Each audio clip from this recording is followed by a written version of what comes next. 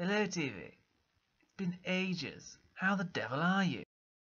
Plant, it has been so long. My, you've grown. Everyone says that. So how have you been, old chap? Honestly, not great. I'm sure people are watching me, and every time they watch me, I seem to get turned on. I haven't a clue what to do. Ah, yes, that is a little odd. Have you been to get any help about this?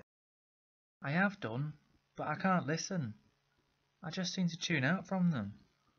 I don't know what to say. Well then, I suppose it can't get any worse from here. I mean, I once sold myself in front of everyone. It was so embarrassing.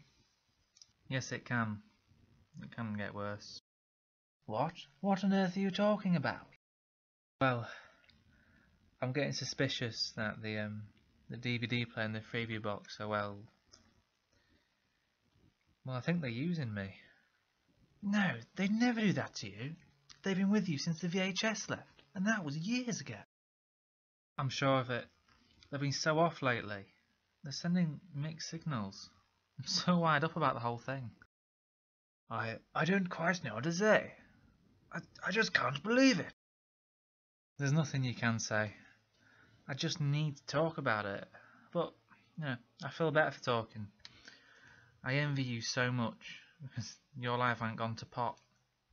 I feel for you, TV, but I'm sure things will pick up soon, and remember I'm here for you. All the time.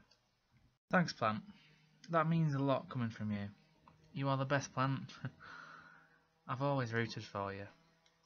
Thank you, my dear boy. I'm deeply sorry now, but I have to go. I need to go to town and synthesize some photos. Not a problem. I'll see you later. Cheerio.